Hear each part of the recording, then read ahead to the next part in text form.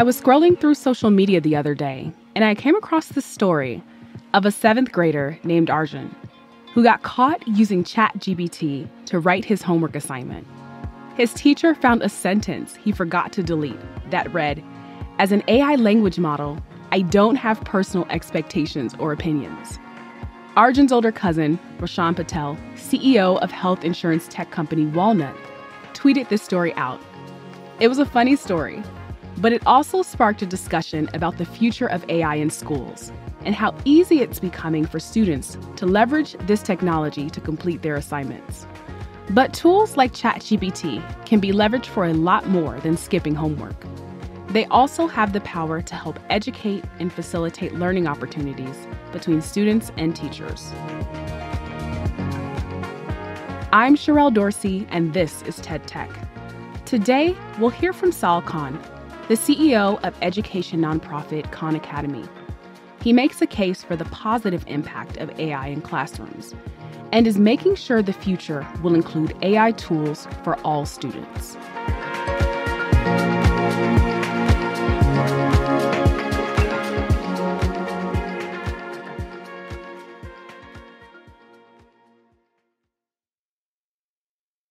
So, uh, anyone who's been paying attention for the last few months uh, has been seeing headlines like this, especially in education. Uh, the thesis has been students are going to be using ChatGPT and other forms of AI to cheat, do their assignments, they're not going to learn, and it's going to completely undermine education as we know it. Now, what I'm going to argue today is not only are there ways to mitigate all of that, if we put the right guardrails, we do the right things, we can mitigate it. But I think we're at the cusp of using AI for probably the biggest trans- positive transformation that education has ever seen. And the way we're going to do that is by giving every student on the planet an artificially intelligent but amazing personal tutor. And we're going to give every teacher on the planet a, an amazing artificially intelligent teaching assistant. That if you were to give personal one to one tutoring for students, that could take your average student and turn them into an exceptional student. It can take your below average student and turn them into an above average student. Well, he said, well, this is all good, but how do you actually scale group instruction this way? How do you actually give it to everyone in an economic way? What I'm about to show you is, I think, the first moves towards doing that. Obviously, we've been trying to approximate it in some way at Khan Academy for over a decade now, but I think we're at the cusp of accelerating it dramatically. I'm going to show you the early stages of what our AI, which we call Khanmigo, what it can now do, and maybe a little bit of where it is actually going. Uh, one of the very important safeguards, which is the conversation is recorded and viewable by your teacher. It's moderated actually by a second AI. And also, it does not tell you the answer. It is not a cheating tool. Notice, when the student says, Tell me the answer, it says, I'm your tutor. What do you think is the next step for solving the problem? Now, if the student makes a mistake, and this will surprise people who think large language models are not good at mathematics, notice not only does it notice the mistake, it asks the student to explain their reasoning, but it's actually doing what I would say not just even an average tutor would do, but an excellent tutor would do. It's able to divine what is probably the misconception in that student's mind. This to me is a very, very, very big deal. And it's not just in math. This is a computer programming exercise on Khan Academy where the student needs to make uh, the clouds part. And so we can see the student starts defining a variable, left x minus minus. It only made the left cloud part, but then they can ask Khanmigo, what's going on? Why is only the left cloud moving? And it understands the code. It knows all the context of what the student is doing, and it understands that those ellipses are there to draw clouds, which I think is kind of mind blowing. And it says, to make the right cloud move as well, try adding a line of code inside the draw function that increments the right x variable by one pixel in each frame. Now, this, this one is maybe even more amazing because we have a lot of math teachers. We've all been trying to teach the world to code, but there aren't a lot of computing teachers out there. And when I'm tutoring my kids when they're learning to code, I can't help them this well, this fast. This is really going to be a super tutor. And it's not just exercises, it understands what you're watching. It understands the context of your video. It can answer the age old question why do I need to learn this? And it asks Socratically, well, what do you care about? And let's say the student says, I want to be a professional athlete. And it says, well, learning about the size of cells, that could be really useful for understanding nutrition and how your body works, etc. It can answer questions, it can quiz you, it can connect it to other ideas. You can now ask as many questions of a video as, as you could ever dream of. So, another big shortage out there. I remember the high school I went to, the student to guidance counselor ratio was about 200 or 300 to 1. A lot of the country, it's worse than that. We can use Khanmigo to give every student a guidance counselor, academic coach, career coach, life coach. You know, we, we launched this with the GPT-4 launch. We have a few thousand people on this. It, it would have been a little science fiction to do with even a traditional tutor. There's a student, we run an online high school with Arizona State University called Khan World School. And we have a student who attends that online school uh, based in India. Her name is Sanvi. And she was doing a report on The Great Gatsby. And when she was reading The Great Gatsby, Jay Gatsby keeps looking at the green light off into the distance. And she's like, well, why does he do that? She did some web searches, and people have obviously studied this and commented about the symbolism of that, but none of it was really resonating with her. And then she realized that she had Khanmigo and that she could talk to Jay Gatsby himself. And so, ah, splendid choice, old sport. I am now Jay Gatsby, the enigmatic millionaire from F. Scott Fitzgerald's Classic. And so, why do you keep staring at the green light? Ah, the green light, old sport. It's a symbol of my dreams and desires, you see. It's situated at the end of Daisy Buchanan's dock, across the bay from my mansion. I gaze at it longingly as it represents my yearning for the past and my hope to reunite with Daisy, the love of my life.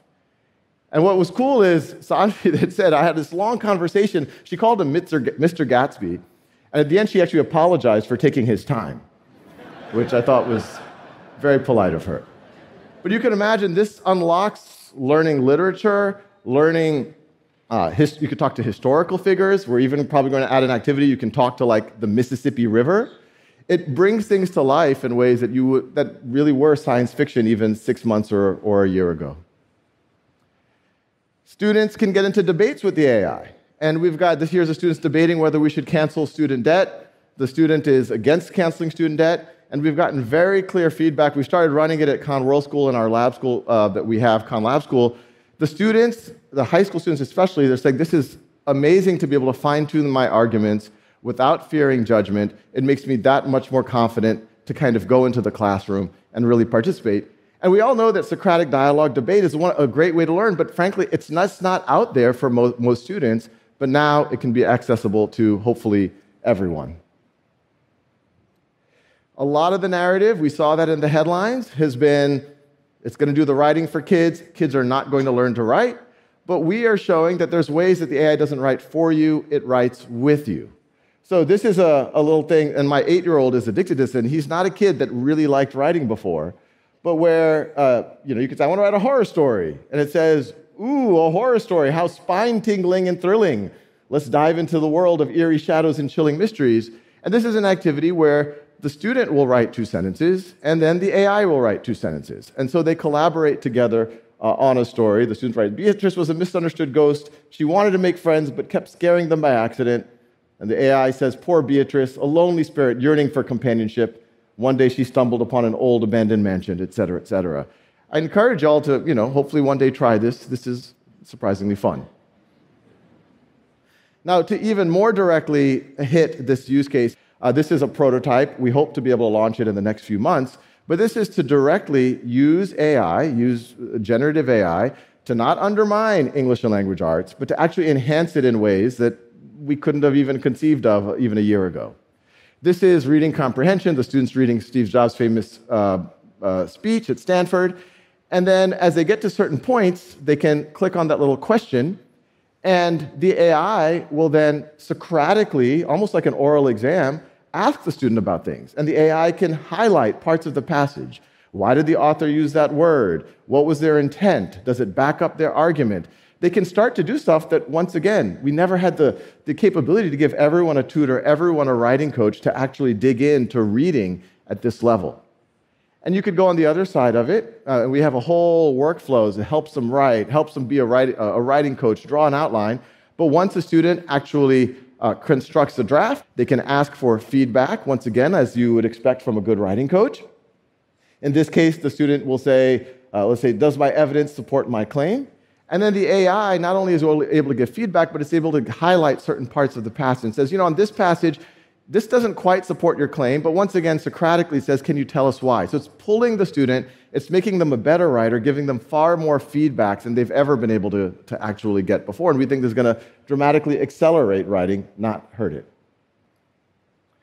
Now, everything I've talked about so far is for the student, but we think this could be equally as powerful for the teacher to drive more personalized education and, frankly, save time and energy for themselves and for their students. So, this is an American history exercise on Khan Academy. It's a question about the Spanish American War. And um, at first, it's in student mode. And if you say, Tell me the answer, it's not going to tell the answer. It's going to go into tutoring mode. But that little toggle, which teachers have access to, they can turn student mode off. And then it goes into teacher mode. And what this does is it turns into, uh, you could view it as a teacher's guide on steroids. Not only can it explain the answer, it can explain how you might want to teach it. It can help prepare the teacher for that material. It can help them create lesson plans. It'll eventually help them create progress reports help them uh, eventually grade. So, once again, teachers spend about half their time with this type of activity, lesson planning. All of that energy can go back to them or go back to human interactions with their actual students.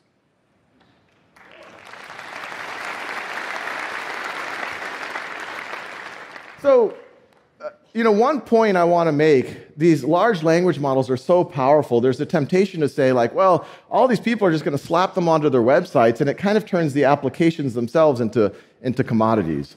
And what I got to tell you is, I kind of thought that that's one of the reasons why I didn't sleep for two weeks when I, when I first had access to uh, GPT 4 back in August. But we quickly realized that it was more Socratic, it was clearly much better at math than what most people are used to, to thinking. And the reason is there was a lot of work behind the scenes to make that happen. And I could go through the whole list of everything we've been working on, many, many people for over six, seven months to make it feel uh, magical. Uh, but what, perhaps the most intellectually interesting one is we realized, and this was an idea from an OpenAI researcher, that we could dramatically improve its ability in math and its ability in tutoring if we allowed the AI to think before it speaks. So if you're tutoring someone and you immediately just ta- start talking before you assess their math, you might not get it right. But something that it generates for itself, but it does not share with the student, then its accuracy went up dramatically, and its ability to be a, a world class tutor went up dramatically. It says the student got a different answer than I did, but do not tell them they made a mistake. Instead, ask them to play, explain how they got to that, that step. And we think this is just the very tip of the iceberg of where this, this can actually go. And I'm pretty convinced, which I wouldn't have been even a year ago, that we together have a chance of dramatically accelerating uh, education as, as we know it. Now, just to take a step back at a meta level, obviously, there's folks who uh, take a more pessimistic view of AI. They say this is scary, there's all these dystopian scenarios. We maybe want, want to slow down, we, we want to pause. On the other side, there are the more optimistic folks to say, well, we've gone through inflection points before. We've gone through the Industrial Revolution. It was scary, but it all kind of worked out. And what I'd argue right now is I don't think this is like a flip of a coin or this is something where we'll just have to like wait and see which way it turns out. I think we are active participants in this decision. I'm pretty convinced that the first line of reasoning is actually almost a self fulfilling prophecy that if we act with fear, and if we say, hey, we just got to stop doing this stuff, what's really going to happen is the rule followers might pause, might slow down, but the rule breakers, the totalitarian governments, the criminal organizations, they're only going to accelerate. And that leads to what I am pretty convinced is the dystopian state, which is the good actors have worse AIs than the bad actors. But I'll also, you know, uh, talk to the optimist a little bit. I don't think that means that, oh, yeah, then we should just relax and just hope for the best. That might not happen either. I think all of us together have to fight like hell to make sure that we put the guardrails, we put in, when, it, when the problems arise, reasonable regulations, but we fight like hell for the positive use cases. Because very close to my heart, and obviously there's many potential positive use cases, but perhaps the most powerful use case, and a, perhaps the most poetic use case, is if AI, artificial intelligence, can be used to enhance HI human intelligence, human potential, and human purpose. Thank you.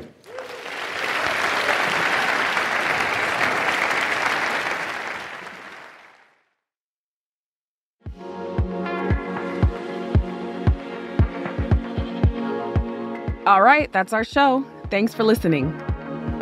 TED Tech is part of the TED Audio Collective. This episode was produced by Nina Lawrence, who also wrote it with me, Sherelle Dorsey. Our editor is Alejandra Salazar, and the show is fact checked by Julia Dickerson. Special thanks to Farah DeGrunge. If you're enjoying the show, make sure to subscribe and leave us a review so other people can find us too. I'm Sherelle Dorsey. Let's keep digging into the future. Join me next week for more.